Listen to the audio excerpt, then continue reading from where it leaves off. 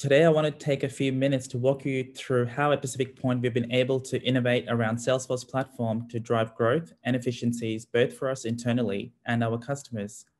First, we'll have a look at how our sales team leverages the sales activity dashboard to effectively manage their customer relationships by having key accounts and opportunity information available on homepage. Next, We'll take a look at how we've leveraged process automation and declarative features on platform to drive efficiency within our PMO by auto-creating service projects on closing of opportunities. This empowers the project managers to start planning their projects and have the team members log billable time regularly, so the end-to-end -end cycle. It would be fair to say that the consistent use of this all the way from sales through to delivery has significantly enabled our team to help deliver excellent customer experiences at every touch point they have at Pacific Point. So let's jump in and take a look.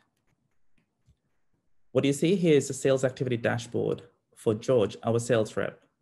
When George starts his day, his dashboard plays a crucial role in, in helping augment the memory on what his first task of the day should be by giving him a real-time status view of his accounts and opportunities. He has a view of his key accounts and opportunities that are segmented using various dimensions, such as opportunity stage, activities completions, neglected opportunities that have had no activities for two weeks, and planned upcoming activities. Using this information, George is able to prioritize his first task for the day, which is to upload, in this example, a signed contract against uh, an opportunity that he has um, open. So let's go straight into uh, the account that the opportunity belongs to, which is NBC, where we can see a list of activities and past interactions, including tasks, calls, and emails. Below that, we can also see that for NBC account, we have a huge $2.8 million Health Cloud Build Release 1 opportunity. So let's go ahead and action the task assigned to George by uploading this contract, which he's just received from the customer. Now, before we upload this document, I wanted to highlight the guided flow capability to allow users to manage the opportunity stages. So it, it acts as a reminder of what they need to do next to be able to close this. It's, it's really helpful, especially with the new, you know, when you're onboarding new sales reps in the team, as it ensures everybody's across the company is following the same business process.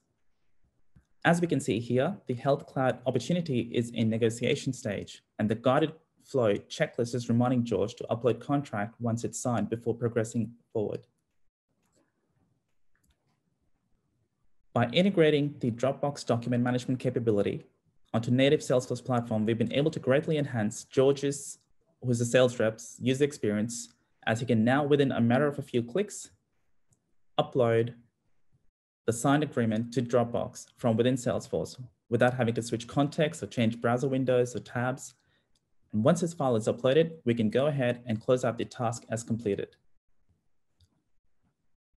Next, again, to um, improve George's customer experience as a, as a user, as a sales rep, he goes to his Kanban view and he can mark this opportunity as closed won. Behind the scenes, using process automation, there is a service project automatically created as part of the handoff process from sales to delivery to the project manager with some intelligent rules we've built in.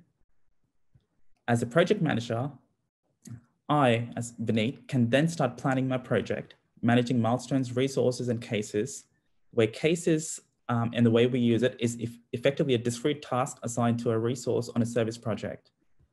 Now, for the purposes of demo today, I've already um, set some of this, um, these, these records earlier, now, as part of planning, I need to first try to find uh, an available solution architect uh, resource for this week for my new project that I've just, um, I've just inherited.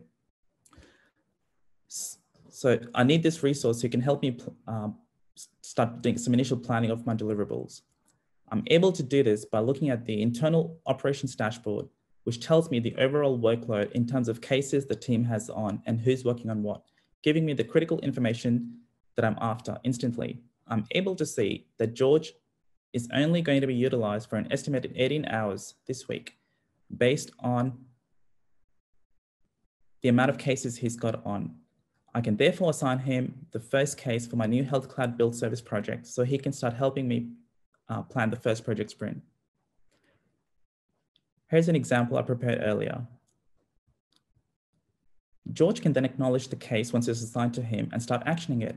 At the end, and then when it's all done, at the end of each workday, he's then able to log his time in, in the time card custom component that Deena mentioned, uh, the amount of time he spent working on this case in his weekly time card, which as a project manager, I have a view of across my team, including George.